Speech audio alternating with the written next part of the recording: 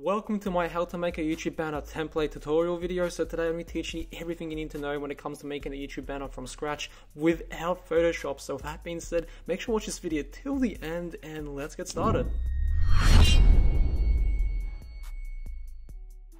Alright guys, so welcome to the video. My name is Sen from Imminent HD and on this channel we specialize in YouTube tutorials and so many different guides when it comes to making money on the internet. So if that's something that you're interested in and want to stay tuned for, make sure to subscribe to the channel right now by clicking the red subscribe button. But with that being said, today's video is all about making a YouTube banner from scratch and you know it's so important to create a banner because your first impression on YouTube channel is your YouTube banner itself. So if you can actually create a great first impression and make your channel look professional, then you're more likely to grow a fan base and some authority in the future, right? So having a high quality channel banner that actually looks appealing is very important. So this is exactly what we're going to be going through in today's video. Alright, so the first step is to pretty much click the link down below to go on this page right here, which is pretty much YouTube's uh, guide for creating a channel art. So pretty much when it comes to this guide right here, it's important to actually create your banner with the appropriate sizing for your YouTube banner template, okay? So whatever software or tool you decide to use, and I'm going to be showing you the exact tool I use when it comes to actually building YouTube banners and other graphics. Now I personally use a tool called Snappa and Snappa already has this feature built into the template so you don't actually have to download this if you're using Snappa but if you're using a different application then I'll highly recommend downloading this so you can actually use this template. You need to make sure that you actually have your banner within the appropriate dimensions right here which is 2560 times 1440 and this is going to make sure that your banner is seen and looks right for all devices including TV, mobile and desktop. So again the tool we're going to be using in today's tutorial is going to be Snappa and I like Snappa for all of different reasons and the main reason why is because it's normally such a chore to create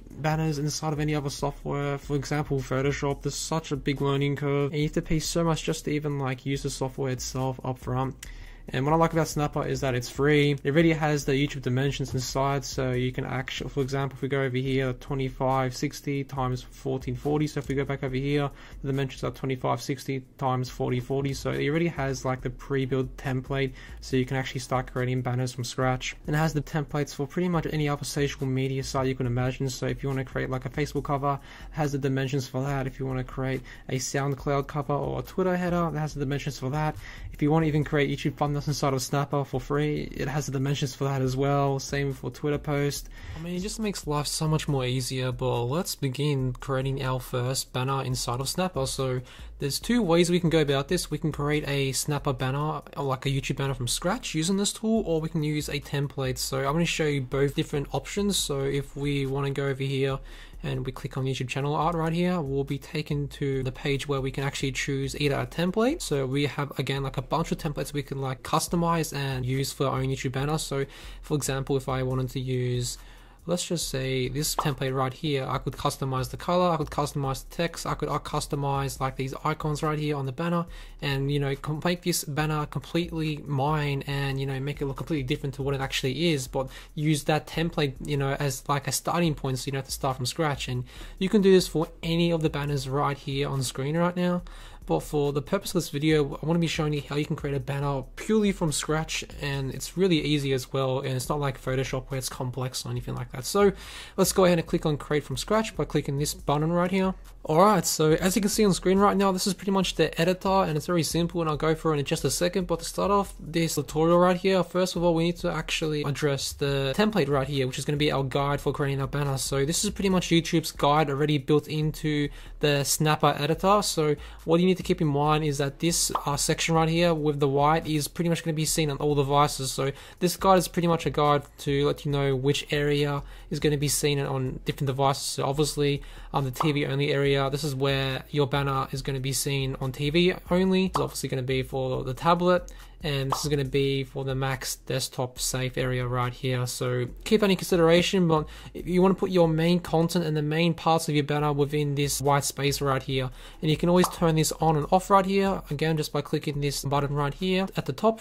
So you can always turn that back on it's always nice to have that as a guide. If you go to the bottom right here you can you know adjust this. So you can see if you want to zoom out or zoom in let's just go ahead and zoom out. Anyway with that out of the way what you first want to do inside of this tool is click on the background section right here and you want to add a background. So and as you can see we have a variety of different images we can choose as a background for our banner right here. So we can choose a bunch of different templates. We can choose patterns. And there we go. So we can choose you know um, a variety of different like textures and backgrounds to really make our banner look really nice and professional. We can even upload our own backgrounds right here. If you have like a background that you really want to add to your YouTube banner in particular we can add plain colors. If you wanted to like have some sort of like spacey background, you can search up the keyword space, press enter, and it will come up with a lot of different space backgrounds you can choose from. So let's just say I wanted to choose, just say I wanted to choose this background right here. There you go. You now have a earth background.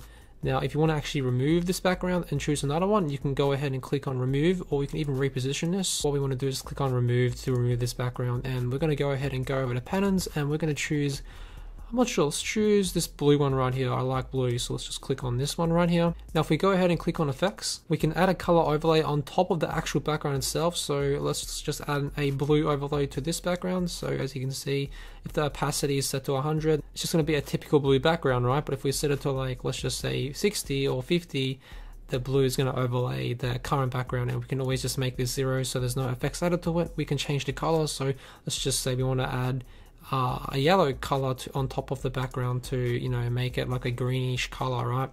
We can you know do the same thing. We can adjust it.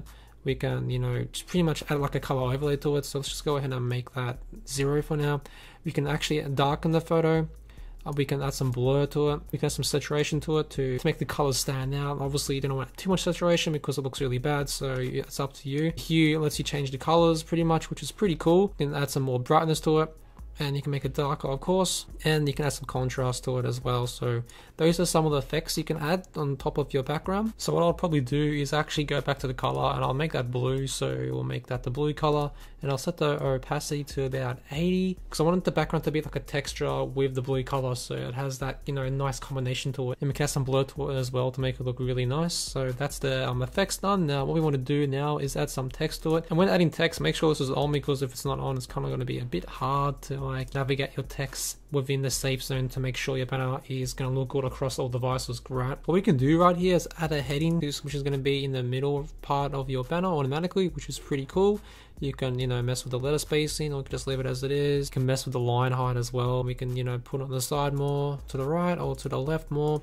We can obviously change the color, which is important, so we can make that blue, which doesn't look too good with a blue background, so let's just make that black for now. We can also change the font right here to whatever font we may be more appealing to us, so it's going to leave it as it is, but there's a bunch of fonts we can choose from, so it's really up to you which one you may want to actually implement into your banner. So what I like to do is I like to have the header, and I like to have some sort of like subheading below my main header, so let's just go ahead and add that, and we can, you know, put that down here. Bring these up a little bit, so let's just go ahead and do that to make it look a little little bit more in line. Let's put my channel name here. So that's going to be Imminent HD. Put in some sort of like statement right here, which your channel is going to be about. So let's just put in for myself home of now I want to actually make this a little bit smaller so let's go ahead and click on this right here there we go it looks a lot more better in my opinion so let's just bring this up a little bit there we go.